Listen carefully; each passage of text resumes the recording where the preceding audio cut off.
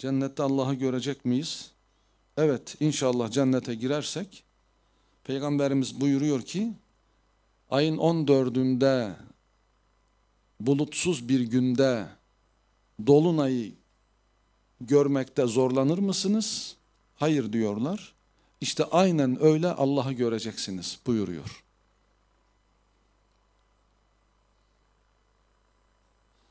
Bu dünyada e, Hz. Musa aleyhisselama bile Allah azze ve celle kendisini göstermedi.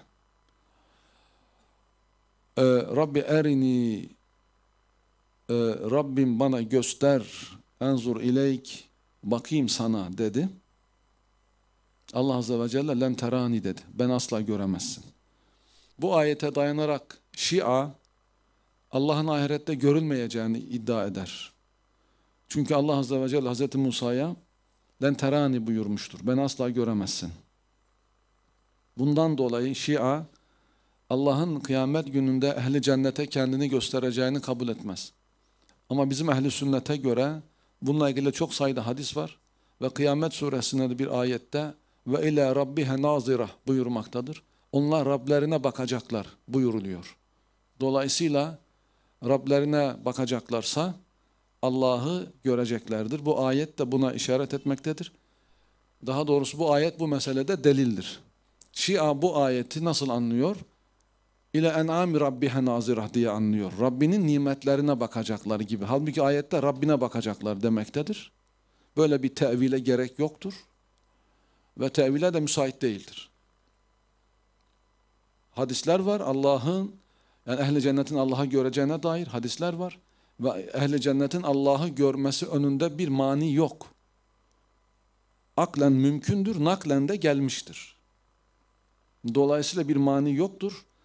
Hangi gerekçeyle ehli cennet Allah'ı göremez diyebiliriz ki? O len terani ise dünyayla, dünya ile ilgilidir. Hz. Musa aleyhisselam dünyada Allah'ı görmek istedi. Allah azze ve celle bu gözlerle beni göremezsin dedi. Bu gözler Allah'ı görmeye dayanamaz. Bu gözler güneşe bile bakamıyor ki. Ama Allah kıyamet gününde ehli cennete başka bir göz verir. O gözle göreceğiz.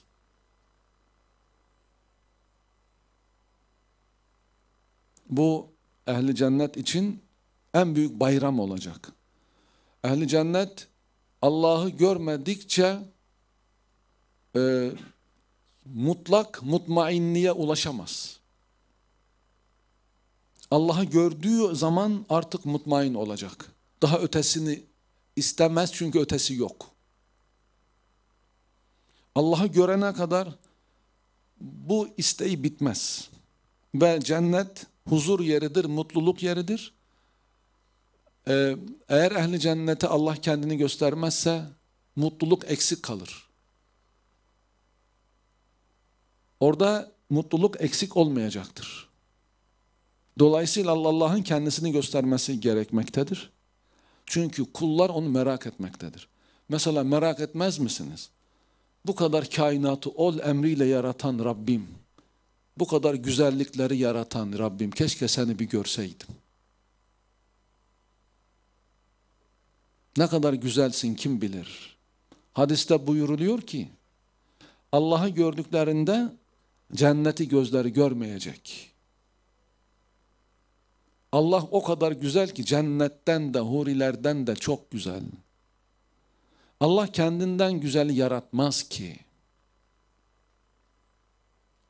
Hurilerden çok güzel. Cennetten çok güzel. Allah'ı görünce cenneti görmeyecek gözleri. Ve insan ancak o zaman tatmin olacak. Yoksa insan hiç tatmin olmuyor. Huriler bile insanı tam tatmin edemez. Allah'tır ancak. Allah kulunu böyle yaratmış. Ancak Allah'ı görünce tatmin olur. Ve bu kadar imtihana girmiş, imtihanı kazanmış, cenneti kazanmış olan kullarının isteğini Allah reddeder mi?